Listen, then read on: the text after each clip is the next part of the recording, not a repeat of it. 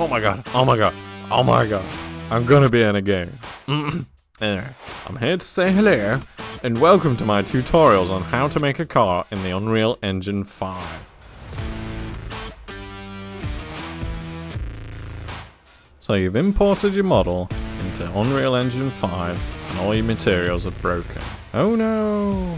Basically what you need to do, you need to unwrap your model in Blender and save your maps separately. In our case, a car is mostly desired in its shiniest or metallic optimum. I don't want a dirty car basically. So what we need to do is quite simple. Hello everybody, welcome back to another guide from Walejaw 3D.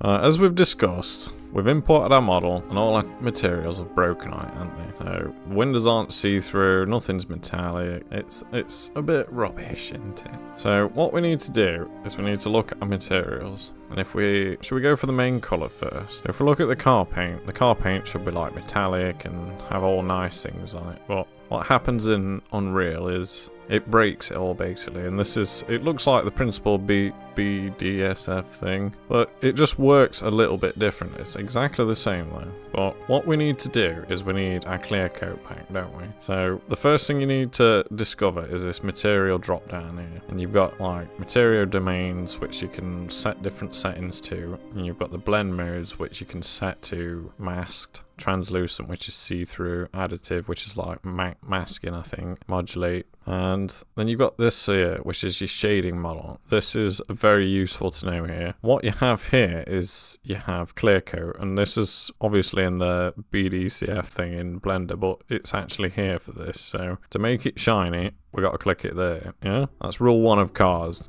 We can make it shiny. It's been lacquered now, yeah? Now, if we wanted to make it metallic as well, we've obviously got no, like, metallic here. Now, if you've got any maps in, in Blender, you can drag them in here now and plug them in this way. Or if you just want to know how to use this thing here, what you do is, is you pull it out and you go for a constant, this one, and this basically creates your on and off switch for the metallic value. Yeah, so if, obviously in between the range of 0 and 1, so if you just put 1 in, it's now metallic which is awesome. So you could do it for other things, say like your roughness, like constant. There's probably a shortcut that I've not learned yet, but you know what mean? Set at zero, it's zero. If not, you can, if you press Alt and click on it, it'll disconnect it as well, kind of thing. Because obviously you can make things shiny with the roughness, can't you? So if you just want it shiny, you can have it like that. But if you have metallic shiny, I think it's, if you want something just shiny, you're going to turn the roughness all the way down to zero and that will make like a mirror-like finish because it's completely shiny, yeah? If you want something metallic, it does the same thing, but it also includes the color of the metal with it, like blends it into it, so it like, it blends a bit of color, you know? So like, as well as reflecting the color that's it's reflecting, it's also going to combine the base color with it. And that's what your metallic is. It's kind of like roughness, but it blends a bit of color.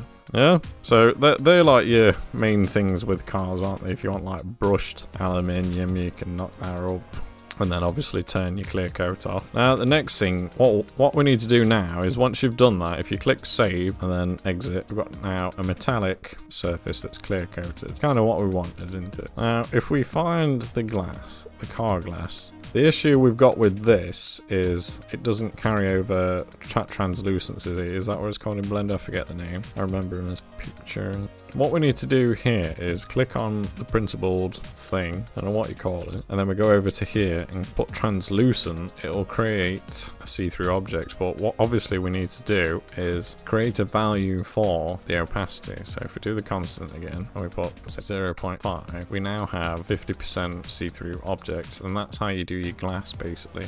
And imagine if we click on this and we click clear coat as well, because like a window is going to be shiny, isn't it? And that should correct our see-through glass. Now I'm probably going to go for 0.2. Let's go for some 0.8 the other way around, because I want kind of tinted. Now if we save it and exit back out again, we can see it's see-through. Probably not see-through enough, so if we quickly change it uh, to 0.5 again, we'll just keep it halfway for illustrative purposes. Now obviously I've shared the glass for the front and the back. Now you can see it's starting to come together now, isn't it? It looks a lot more real. So if I quickly just rush through, it's like with the chrome, I'll show you chrome because that's important for cars, isn't it? Where's chrome? Chrome, this one. You can definitely see it's broken. Now this one's nice and simple. Is basically we want the metallic at full, don't we? So if we create constant, again, again, turn it on, bang, you've got yourself a chromy surface kind of thing now. Probably want it a bit shinier than that, so we create a constant on drop down and just leave that at zero. We've got a chrome, haven't we? Because if you remember, the, it's the roughness that makes it shiny and reflective, and then this just gives it that light. It blends the base color into the reflection. Correct me if I'm wrong.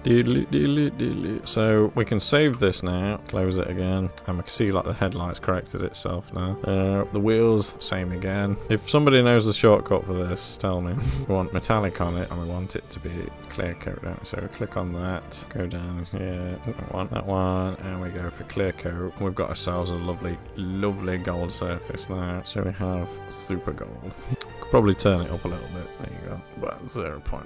Yeah, just a little bit. Everything has a, certain element of roughness to it. Nothing's like perfect, other than water, I think. It'll have to be very still water. Save, close. There you go, you got some nice gold wheels now, aren't you, kind of thing. Now, obviously, it looks a bit pants in this view. I think this is to do with, like, the basic HDR. We've got some reflections in on the bonnet, like the sky's reflecting, so we've definitely got ray tracing going on. It's obviously, there's nothing around it to reflect into, like, the body, so it does look a bit unrealistic at the minute. It's just because the environment it's in is pants, you know what I mean? So that should solve all your issues. You want glass, you want chrome, you want metallic paint, and after that, it would be your image textures. It's like, usually you'd have like an image texture here that you plug in. But I'll not discuss that in this one. This one is just to cover the basic things that you need to create. See-through things, shiny things, metallic things, and basic colours. Hopefully this helps you. Thanks for watching. If you uh, if you want to build a car in Unreal Engine 5, then check out this playlist here, and it should help you build a game. Thank you for watching. Goodbye, everyone. Bye-bye.